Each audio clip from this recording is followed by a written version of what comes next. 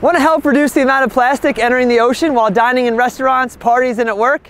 First, refuse single-use plastics. Instead, use reusable cutlery and straws made from sustainable materials such as bamboo and metal instead of that nasty plastic.